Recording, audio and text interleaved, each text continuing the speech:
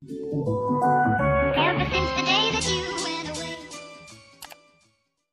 mga Baks! Welcome to Robbie's Diaries and it's me, Robbie. Hello! At to those na bago pa lang sa channel na to, don't forget to click the subscribe button and the notification bell para inform kayo kapag may bagong upload na videos. Ayan. At speaking of subscribe, 1,000 subscribers na tayo mga Baks! Yay! Lumalaki na yung family natin, pero wag tayong titigil din doon. Humayo tayo at magparami. Ayan, di ba? Hindi ba ibig sabihin nun na, ibig sabihin nun, i-share nyo lang ng i-share ang videos ah, ko na nagustuhan ninyo para naman makahikaya tayo ng iba pang kabaks dyan, di ba? Mga bakels. Yung mga friendships nyo na mahilig din mag-skincare, gano'n. Bago tayo humayo, ayan, usapang kutis muna tayo, mga baks. At um, kung napanood nyo na yung video ko about sa um, paglighten ng aking singit, kung ano yung ginawa ko, kung ano yung routine ko, at ano ang mga products na ginamit ko, um, I'm sure na narinig nyo doon na binanggit kong gumagamit din ako ng DIY na coffee honey scrub. Ayan. At dahil dyan, dahil na-mention ko siya, isa sa ating mga kabaks, isa sa mga bibi ko, ang nag-request na um, gawan ko ng video ang paggawa nitong DIY coffee scrub na to. At yan si bibi ko Yux or Yus. Sorry na, patawarin mo na ako kagad kung hindi ko kung hindi ko siya ma-pronounce ng maayos, bibi ko, ha? Sorry na, hindi ko alam kung paano. Yaan mo na. At least maganda tayo, di ba? At ayun na nga, um, since nag-request ka, bibi ko, eto na, um, actually, after ko palang pala i-film yung dun sa singit ko, ah, gumawa na rin ako nung mga footage kung paano ko ginagawa yung aking DIY coffee scrub. Pero ngayon lang ako nagkaroon ng chance para i-film at dagdagan pa ng helpful information ng ating coffee honey scrub. Okay, so bago ko ipakita ang procedure, syempre gusto ko muna rin kayong bigyan ng idea kung ano nga ba ang benefits ng mga main ingredients na gagamitin natin dito sa DIY coffee honey scrub natin. Syempre, para malaman mo rin agad kung para sa'yo ba itong scrub na to o hindi. So, let's start with coffee. Ayan, yan yung talagang star ingredient natin dito. Ang pinaka-favorite kong benefit talaga ni coffee ay yung instant brightening effect niya, mga backs. Uh, paano nga ba na- natin nakukuha yung effect na yan? Nakukuha natin yung instant brightening effect dahil ang coffee, it helps im- improve our blood flow. So, kapag maganda ang blood flow, ang skin natin maganda rin. So, parang mas mukha siyang buhay na buhay, mas radiant, mas glowing. Alam niyo yun? Yung hindi mukhang matamlay yung, yung balat natin or hindi mukhang haggard. Ang next naman na benefit na um, pag-uusapan natin ay ang kanyang anti-aging and calming effect. This is a result nung antioxidant niya ng coffee, na matatagpuan sa coffee, and it helps na ma-reduce yung ating redness, yung mga sunspots, fine lines, and yung pag-develop ng wrinkles. At um, actually kasi, ang antioxidant, maganda rin yan dahil it actually boosts our collagen levels. And alam niyo naman mga baks na ang collagen, sobrang ganda niyan sa ating skin. Actually, meron tayo niyan eh. Pero as we grow older, uh, medyo bumabagal yung pag-produce ng katawan natin ng collagen. Kaya yung iba, di ba, nagtitake pa ng supplement, yung iba naman, nagpapa-push, yung nagpapa-IV drip pa na may collagen. And coffee can actually give us that as well. Although, syempre, kailangan pa rin natin maging consistent para makuha natin yung ganito, yung, yung ganung effect ni coffee. So, let's go ahead naman with the calming effect. Dahil dun sa mataas na antioxidant level ni coffee, ay parang nabibigyan niya rin ng calmness ang ating skin. Halimbawa, meron kang active na pimple mga baks, and you use um, a coffee mask sa, sa iyong mukha. Sobrang helpful siya para ma-calm down niya yung inflammations na yon At saka, ano yun, para hindi na siya mag, mamula, saka mag, grumabe pa. So, ang result nun, may iwasan mo rin magkaroon ng scars na ayaw na ayaw natin kasi hindi naman mapagkakaila na sobrang hirap tanggalin ang scars sa ating mga mukha, 'di ba, Bax? Lalo na kapag medyo malalim siya.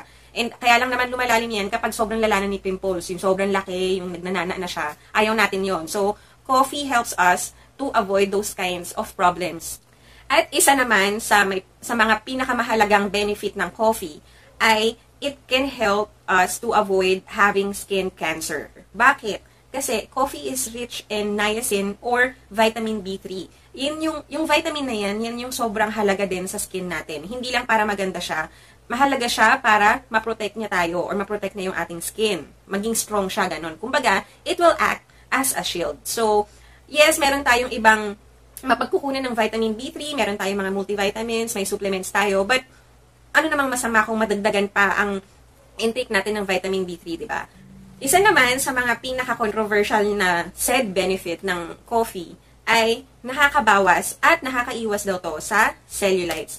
Alam niyo, sobrang daming yung maririnig na nagsasabi, cellulites, cellulites, may cellulites ako. Pero, hindi lahat tayo alam yan. Actually, dati, walang pakialam dyan kasi I don't know anything about cellulites. Ano ba yan?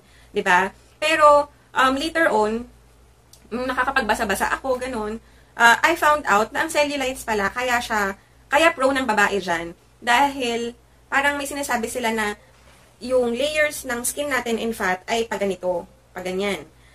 Sa mga men, parang naka-crisscross daw, ganun. So, kapag ganun daw, ang layer, yung ganito, ah, mas madaling mag-protrude or parang pumunta sa itaas yung fats natin, mapunta dun sa may skin layer. So, yun yung cellulites. Mapapansin mo pag may cellulites ka mga baks, yun yung parang ah, may dimples, dimples. Yung alam mo yung hindi ka naman sobrang, sobrang taba pa, pero mapapansin mo may part na, usually yan sa legs, sa puwet. Eh, 'di ba? Mapapansin niyo yan may cellulites diyan. And hindi man ganoon ka bothering, pero pag grumabe siya, pag lumala, yun yung medyo pansin na pansin na talaga. And and na, tutulungan tayo ng coffee na iwasan 'yan. Kaya naman helpful si coffee dyan sa cellulite na yan, sa pag-iwas sa cellulite. Kasi ang coffee, ah, tumutulong yan na i-draw away or tanggalin yung fluid from our fat cells. So, kapag ganun, kapag natatanggal or nababawasan ang fluid sa ating fat cells, hindi sila madaling mag-protrude or umibabaw dun sa ating skin layer. So, yun nga, syempre, may babawasan yung ating cellulites. Ang dami-dami niyang benefit, di ba? At yung mga benefit na binanggit ko ay para lang sa topical, sa pagpapahid. Hindi ko pa naisama dyan yung pag-inom kasi hindi naman yun yung topic natin. But anyway, bakit nga ba naisip kong si honey ang i-partner sa coffee?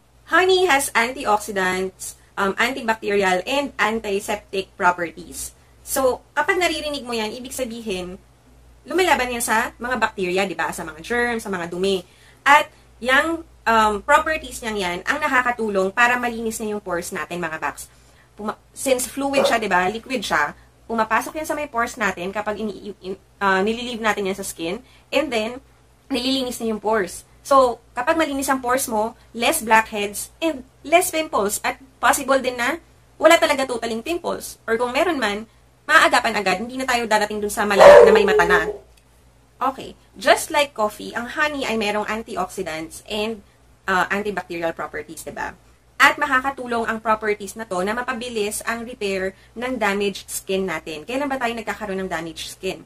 Una, kapag sobrang exposure sa araw, kapag nagkaka-pimples tayo, or kapag nagkakaroon tayo ng allergies. At malaking malaking malaking tulong si honey na mapagbilis ang paggaling ng mga damage na yan sa skin natin. At syempre, katulad ng sabi ko, kapag mas mabilis siyang mag-heal, mas malilesen natin ang possibility ng scarring. So, ayaw natin ng peklat mga box kasi as much as possible, iwasan kesa magtanggal kasi mas mahirap magtanggal. And then, the next thing is that honey is a nat- natural humectant. Whew! Ang hirap i-pronounce, di na nga ma-spell, ang hirap pa i-pronounce, Bax. Pero, importante to. Ayan. Ano nga ba yung humectant na yan? Kapag sinabing humectant, ibig sabihin, itong product na ito ay tumutulong para ma-retain ang moisture sa skin natin. So, ito natural humectant to as mga Bax. Um, hindi natin kailangan ng chemicals para mangya- magawa yan. So, ang honey, kasi ang nangyayari, it draws out or kumukuha siya ng moisture from the air at kinikip niya yon sa ating balat. At syempre, gusto natin ng moisturize na balat. Kasi pag dry yan, mas prone yan sa damage, di ba? At isa pa sa mga nakakatuwang facts about honey ay marami siyang enzymes. Pero syempre, yung mga ano lang ha, mga pure, yung raw honey, yun lang yung masasabi natin na talagang maraming enzymes na makakatulong. Ano nga ba yung help ng enzymes kapag nilalagay sa skin? Kapag maraming enzymes si honey, mas mapapadali na makasiksik siya dyan sa mga pores natin, sa skin natin. At kapag nangyari yon hindi lang yung top layer ng skin natin ang mamomoisturize, even, even yung mga, um, yung ilalim, yung lower layer ng skin natin, mas mamomoisturize din siah. Yun yung sinasabi nila, di ba, na glow from within. Ah, taray!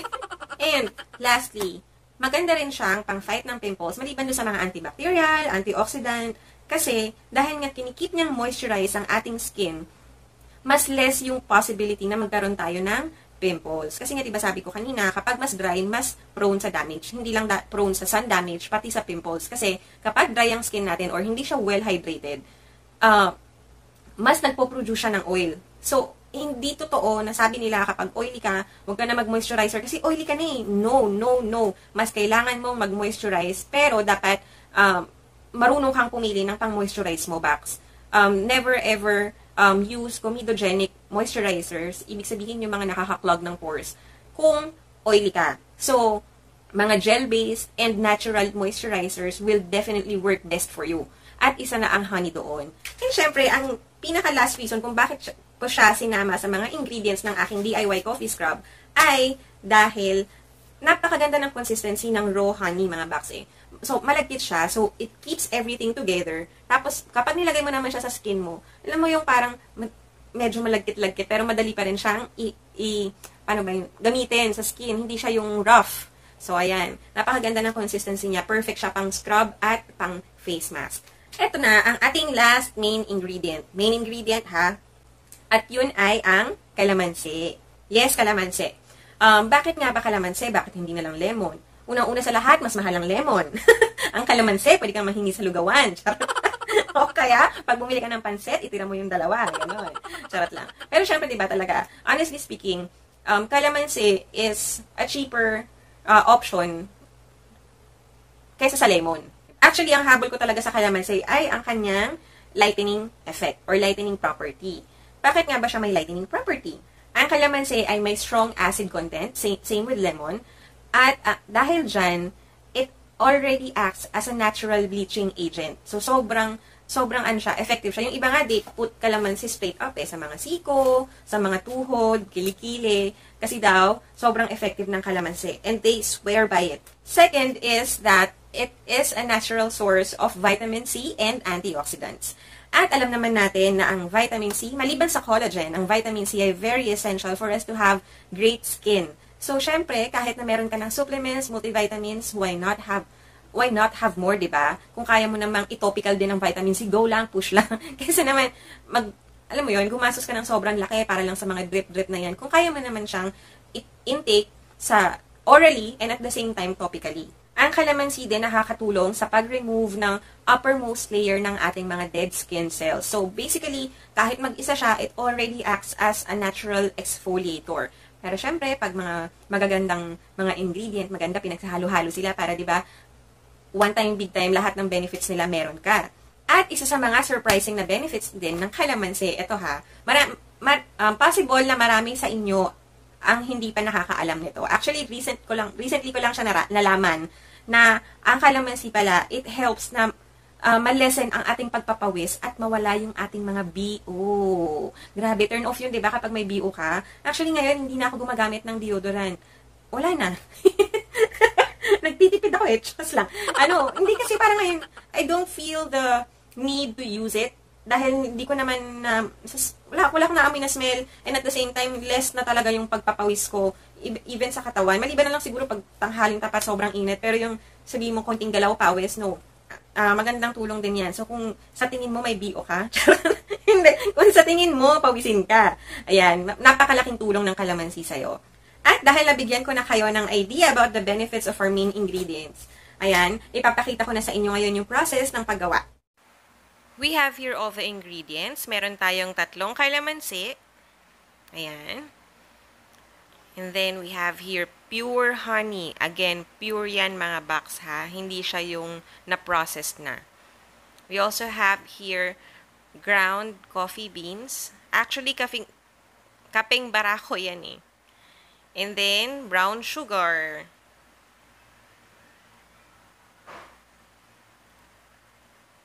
First, we will add 3 teaspoons of ground coffee beans.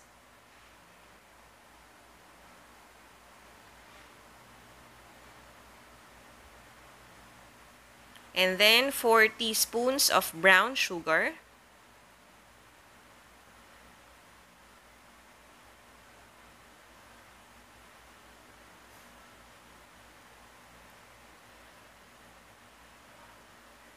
Tapos, pipigain na natin yung kalamansi to get the juice.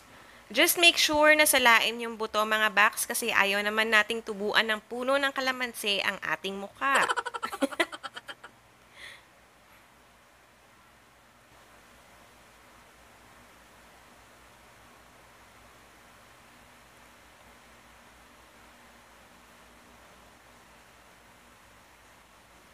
Ayan. Pigain lang mabuti para makuha natin lahat ng juice.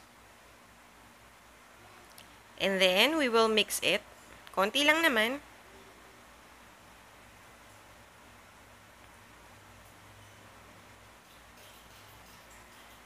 Now, we are going to add 4 teaspoons of pure honey.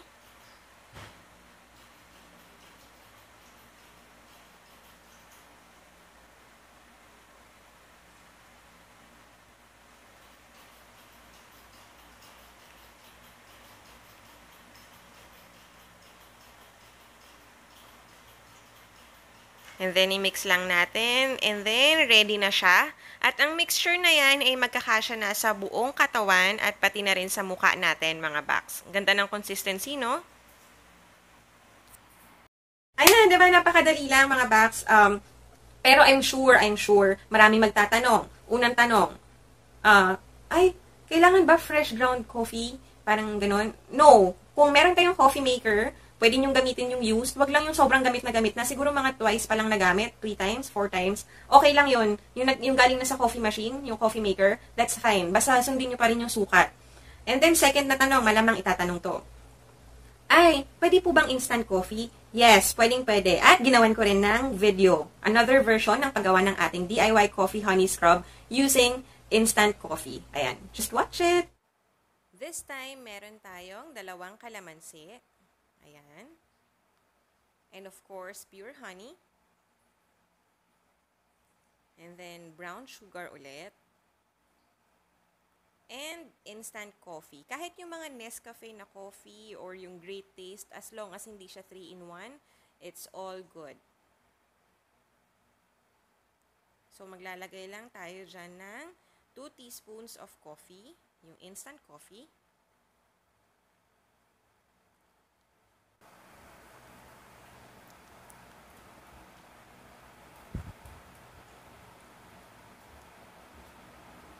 And now we will add 5 teaspoons of brown sugar.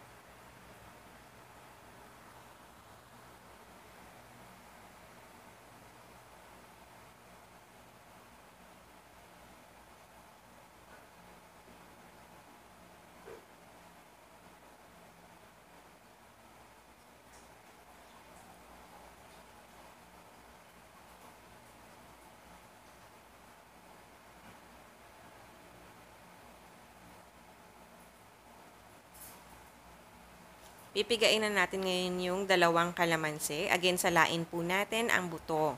Ayaw natin ng puno ng kalamansi sa ating katawan.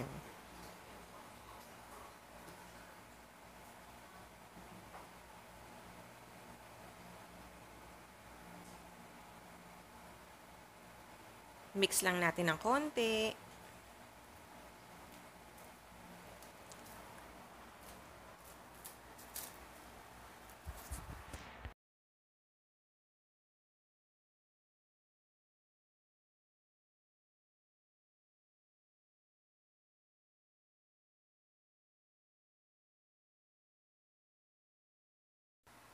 And now we will be adding 6 teaspoons of raw honey.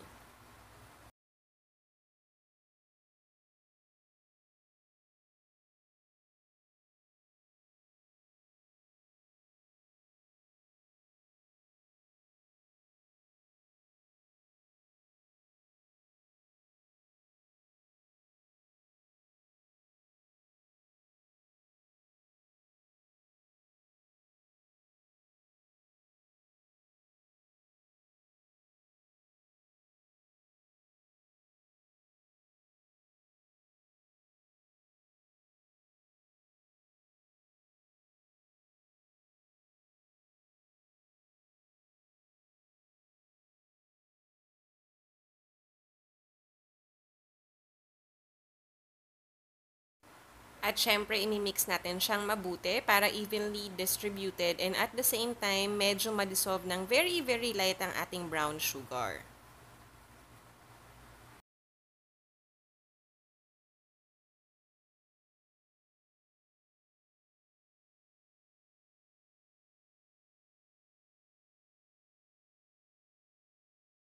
Okay, di ba, bongga? Kasi, uh, imagine, honey lang yung medyo mahirap hanapin dyan. Pero once you have bought it naman, um, wala ka ng problema eh. Kasi usually mabibili mo siya sa malalaking lalagyan. Yung akin nilipat ko na lang yan kasi kumonti na. Pero nabili ko yan before sa Tagaytay.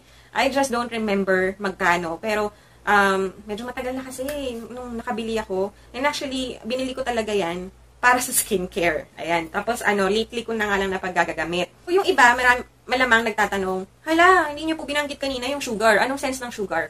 Um, naglagay tayo ng brown sugar dahil firstly, it also helps in exfoliating our skin. So, tanungin nyo, eh, meron naman na pong coffee grounds, bakit kailangan pa ng sugar? Ang coffee grounds kasi, trinay ko yan before, ng puro lang. Coffee grounds and honey and then calamansi. And medyo harsh siya kapag siya lang. So, mas magandang haluan siya ng brown sugar para medyo, alam mo yun, man-neutralize yung kanyang texture. Hindi siya ganun kagrabing ka-rough. Yun. And at the same time, syempre, kung instant coffee ang gagamitin ninyo, so wala na, wala nang pang-exfoliate. Yes, uh, honey and calamansi can, can exfoliate as well, pero iba pa rin kasi yung talagang pang-scrub, ba And brown sugar po ang gamitin at wag puti dahil ang ang puti ay medyo mas harsh ang texture. Yes, mas pino siya, pero kapag trinay nyo siyang iganon sa balat, mas masakit siya. Hindi ko rin alam kung bakit, di ko ma-explain. Sinubukan ko na before, mas maganda ang feel ng brown sugar kaysa sa white sugar. And at the same time, raw din yan eh, di ba, kapag brown sugar. Um, so, basically, baka meron din tayong makuha na magagandang benefits, which is hindi ko pa nare-research. I'm so sorry about that. Pero I guess naman, um, jam-pack na sa benefits itong tatlong main ingredients natin, which are honey, coffee, and calamansi. Ayan. And, again, mga backs, hindi ko lang to sa katawan ginagamit. Ginagamit ko rin yan sa mukha. At, tandaan nyo, very gentle lang dapat. Yung sa paglagay sa katawan, hindi ko na siya nagawa ng video kasi baka masakal na ako ng asawa ko, kakatapos ko lang magpakita ng singit. so, ang ginawan ko na lang ng footage before ay ang paglalagay sa face. So, just keep on watching. I do this after shower or after kong maligo and I use um, mask applicator, yung uh, silicone. Pero if you don't have one, you can definitely use your bare hands para i-apply ito sa inyong mukha. At wag niyo po akong gagayahin, wag po sa kwarto, mas magandang mag-apply sa uh, CR or sa bathroom kasi medyo messy siya, medyo may tumutulo-tulo. So, apply lang natin sa buong mukha. Just avoid yung inyong um, nostrils, ang inyong mouth, at ang inyong mata.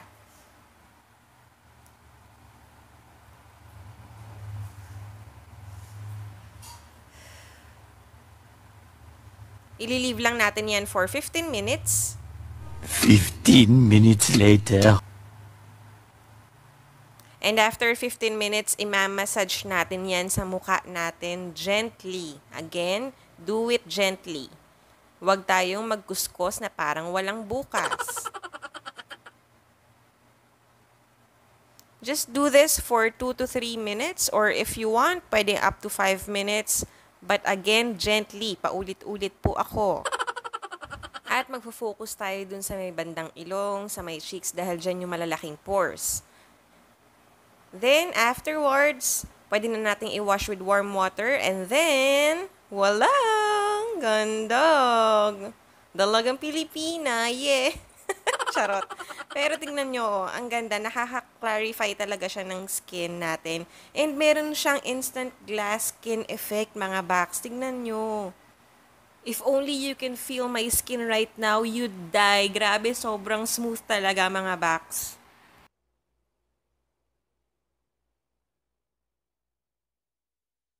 Okay, di ba? Nakita nyo na kung ano yung effect, mga backs. Ang ganda. Actually, hindi pa maganda yung cam niyan, pero nap- napansin nyo siguro yung banda dito sa nose ko, dito. Parang medyo may nag-glass skin siya ng very light, di ba? Tsaka, pansin ko lang din, nung pinapanood ko yung footage na yun, mas buhay na buhay yung balat ko compare nung bago ko siya ilagay. So, I hope na makatulong sa inyo to mga backs. Kasi, katulad nga ng sabi ko, kasama to dun sa routine ko na pagpaputi ng singit. At maliban doon, kung meron kayong mga pimples, kung meron kayong mga chismis na gustong tanggalin sa inyong mga fes, ayan, gamitin nyo lang po ang ating DIY Coffee Honey Scrub. Paalala ko lang po na hindi po ako beauty guru, okay? Uh, mahilig lang po ako mag-skincare at gusto ko lang po yun i-share sa inyo. At may possibility na yung mga bagay na nag-work for me may not work for you. So, discretion nyo po yan kung gusto nyo subukan. Pero anyway, I gave you all the information that I can give. Lahat ng kaya kong ibigay na information na meron ako, binigay ko na. Ayan. So, kayo na lang bahalang mag-judge if you think that um, your body needs it. um, paalala ko, if you're going to try that, might as well try to patch test muna somewhere na hindi masyadong nakikita. Yung medyo tago. Tapos, kung okay naman siya, babad nyo siya ng mga 5 minutes, 10 minutes. Kung wala namang stinging, balawan nyo, tignan nyo, observe nyo hanggang kinabukasan. Kung walang allergic reaction, then maybe you can use it. Okay? And again, again, again, uulitin ko, alam ko sobra na, pero uulitin ko ulit, huwag masyadong harsh ang pag-scrub. Huwag yung hula ng bukas. Woo! Ganon. Huwag ganon, ha? Dapat gentle lang tayo, ganyan. Parang, mm, spa lang, ganun. Ha? Kasi kung lalo na kung may mga pimples kayo, active pimples, baka mas ma-worsen pa yan kung grabe kayong nakascrub mga box. Ayaw natin yan, okay? So, hindi ko na siya masyadong papahabain. I know, humaba na to ng tong video na to ng bongga. Pero I hope, I hope, I hope na makatulong to sa inyo mga box. And I hope din na nagustuhan nyo ang video na to. And of course, if you like this video, don't forget to click the thumbs up button. And if you have any comments, suggestions, questions, requests, Comment nyo lang dyan sa baba. I'll do my best na makapag-reply agad-agad, okay? Um, ano pa ba? So, ayun, para nga pala dun sa mga bago, again, I'm urging you, please do subscribe to my channel. Click the subscribe button down there and the notification bell para inform kayo pag may bago kaming videos. Thank you so much for watching mga backs. Again, thank you so much sa 1,000 subscri subscribers ko! Yay! Bye-bye! Tata!